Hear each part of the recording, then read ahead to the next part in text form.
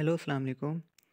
आज का हमारा टॉपिक है यूज़ ऑफ़ वर्ब और टेंस है हमारे पास प्रेजेंट कंटिन्यूस टेंस इसके हमारे पास कुछ स्ट्रक्चर्स होते हैं for example simple negative and interrogative simple के अंदर हमारे पास है सब्जेक्ट प्लस हेल्पिंग वर्ब्स और हमारे पास हेल्पिंग वर्ब्स यूज़ होते हैं, यहाँ पर is am are plus verb की first form plus I N G अब हम वर्ब की first form plus I N G को वर्ब की फोर्थ फॉर्म भी कह सकते हैं। प्लस ऑब्जेक्ट नेक्स्ट हमारे पास negative subjects plus helping verb is am are plus not plus verb की first form plus I N G and object next हमारे पास interrogative helping verb is am are plus subject plus verb की first form plus I N G plus object and question mark next हमारे पास है use of helping verbs पहला हमारा point है if your subject is he she it and singular name then we use helping verb is मतलब अगर हमारा subject he she it या कोई वाहिद नाम होगा तो हम हेल्पिंग वर्ब इज़ यूज़ करेंगे।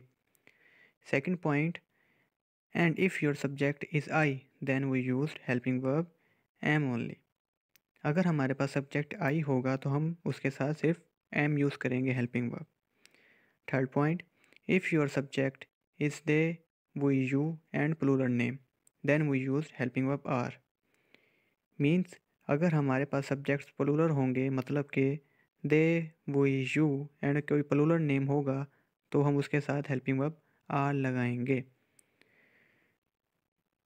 नेक्स्ट है हमारे पास कुछ इंपॉर्टेंट पॉइंट्स मतलब कि जैसे कि हमने प्रेजेंट इंडेफिनेट में कुछ पॉइंट्स पढ़े थे जिससे हमें पता लग सकता है कि ये टेंस कौन सा है। यहाँ पर हमारे पास कुछ वर्ड्स हैं, जिससे हमें पता लग सकता है कि ये टेंस प्रेजेंट कंटिन्यूस का है।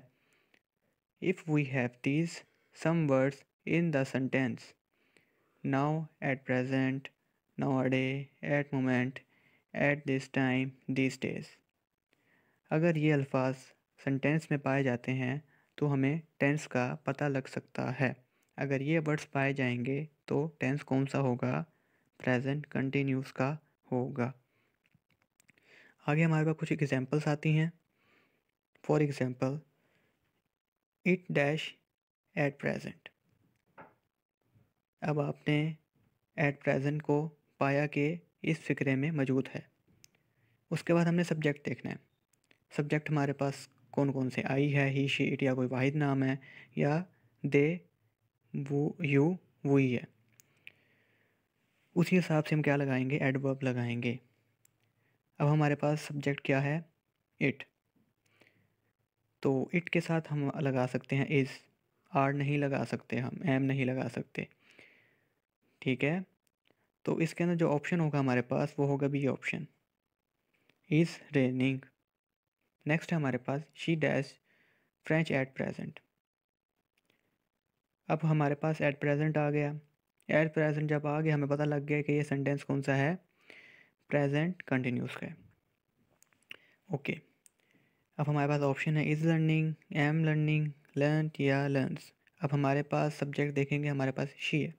शी के साथ क्या लग सकता है इज़ तो हमारा ये option is correct she is learning French at present third Shahida dash a sad song today अब हमारे पास टूडे आ गया है तो ये होगा हमारा प्रेजेंट कंटिन्यूस का, ठीक है? ओके इसके अंदर हमारे पास ऑप्शंस हैं sing sang is singing has sang तो हमारे पास हेल्पिंग वर्ब हैं इज़ एम आर तो चाहिदा है सिंगुलर नेम है, इसके साथ लगेगा इज़ तो इसके सी ऑप्शन करेक्ट होगा she is singing a sad song today. Okay. She dash English now.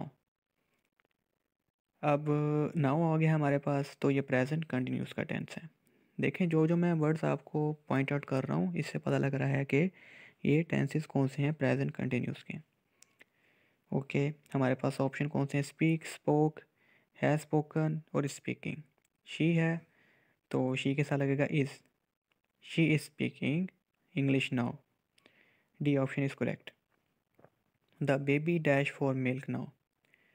अब द बेबी है तो ये तो सिंगुलर है उसके बाद हमारे पास पाया जा रहा है नाउ। नाउ हमें बताता है कि ये सेंटेंस कौन सा है प्रेजेंट कंटिन्यूस का है। तो the baby is crying for milk now. The baby के साथ लगेगा इज़, ठीक है तो A option is correct. They dash to sleep at ten. अब एट टेन आ गया हमारे पास मीन्स एट आ गया है। अगर एट के साथ कोई भी टाइम मेंशन होगा तो वो क्या होगा? प्रेजेंट कंटिन्यूस का होगा, ठीक है? उसके बाद हमारे पास सब्जेक्ट प्लूलर है। They dash to sleep at ten option हमारे पास is going, go, went, are going. They के साथ हमेशा आर लगता है इज़ नहीं लगता, एम नहीं लगता तो हमारे पास D option is correct. They are going to sleep at ten.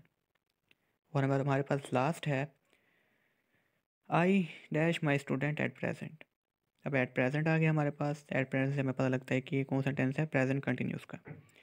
तो आई के साथ लगता ही एम है तो A option is correct I am teaching okay बहुत इजी वे में आपको समझाया है कि कुछ ट्रिक्स होती हैं जिससे पता लग सकता है कि आपको ये कौन से टेंस का फ़िक्र है।